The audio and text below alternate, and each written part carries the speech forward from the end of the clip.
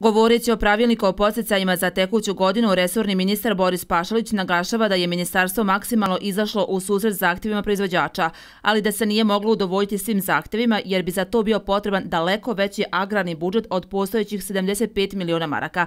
Čekalo se stupanje na snagu pravilnika kako bi mogli biti isplaćene i premije za mlijeko. Dvije premije će biti isplaćene oko 10. februara, a naredna 1. marta. Ipak neke mjere kao što je regresirani dizel ostale su nedogovorene. Ranije je bilo 60 feninga po litru, sad je 50. To je upravo iz razloga tog snažnog pritiska koji smo imali od e, predstavnika proizvođača koji su tražili da se ta mjera potpuno eliminiše. Dogovor postoji kada je u pitanju uvođenje zaštitnih mjera za proizvodnju mjesa, ali i te mjere se moraju staviti van snage ukoliko se procjeni da bi moglo doći do poskupljenja mesa na tržištu, naglašava Pašalić. Mi trenutno imamo dovoljno mjesa, ali ta mjera kada se definiše i uvede može se isto tako i na neki način staviti van snage. Dakle, mi ne možemo da pretpostavimo šta će biti sa tržištem. Mi smo sada imali situaciju da je cijena mesa recimo pala kod domaćih proizvođača, ali je cijena hrane naglo skočila.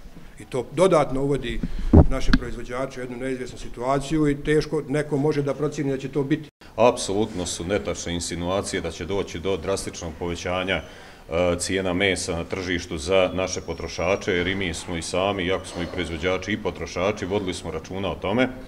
U prilog tome činjenica da su cijene, sadašnje cijene mesa po marketima formirane na bazi od 3,5 marke po kilogramu žive mjere tovne svinje i na 4,5 marke e, tovnih bikova. Povrtari su zadovoljni novim pravilnikom. Dosta njihovih zahteva je, kažu, uvaženo. Posjecaji za povrtarstvo će biti isplaćeni 8. marta.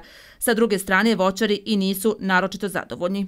Da je u pravilniku uvaženo da budu traktori većih snage i skuplji traktor da se limit sa 30.000 pomjeri na 50, da se u plasteničkoj proizvodnji, ako neka nevrijeme dođe, taj e, povrtar ovaj, ima, na primjer, trošak od, od 2.000, ranije nije mogao to ostvariti. I ministar, a i predstavnici Saveza udruženja koji su bili u Sarajevu nisu zastupali biljnu proizvodnju, znači i voćarsku i poltarsku proizvodnju, samo se zastupali proizvođače mesa, što nije dobro, mi tražimo da se to sve radi u paketu.